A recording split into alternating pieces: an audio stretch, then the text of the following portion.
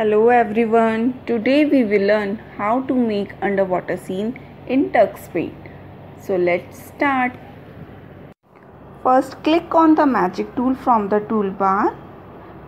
Then from the selector bar choose the fill option. Then choose the color. Put and drag the cursor on the drawing canvas. Then click on the stamp tool from the toolbar then select the stamp from the selector. Put the cursor on the canvas where you want to insert the stamp and click the mouse. The size of the stamp can be increased or decreased by clicking the desired icon.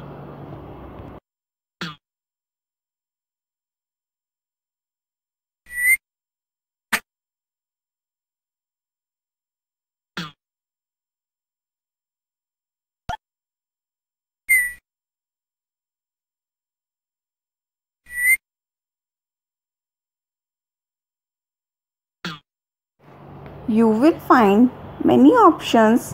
Choose any one of them.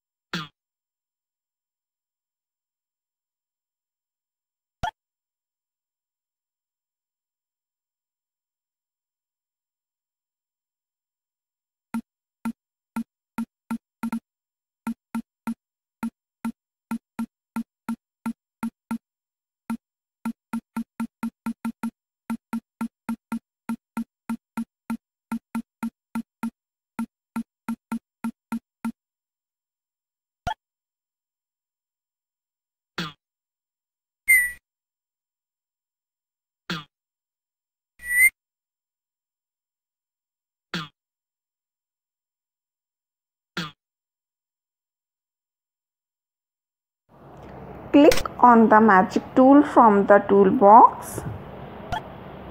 Then select different effects from the selector.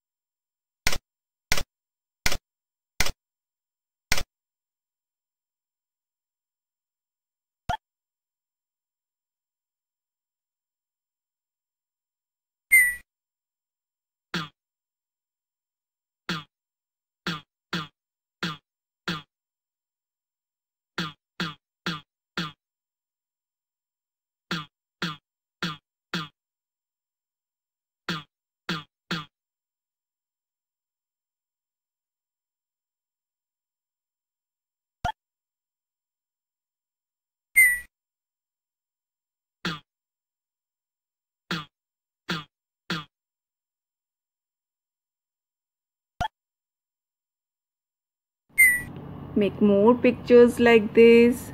Keep practicing.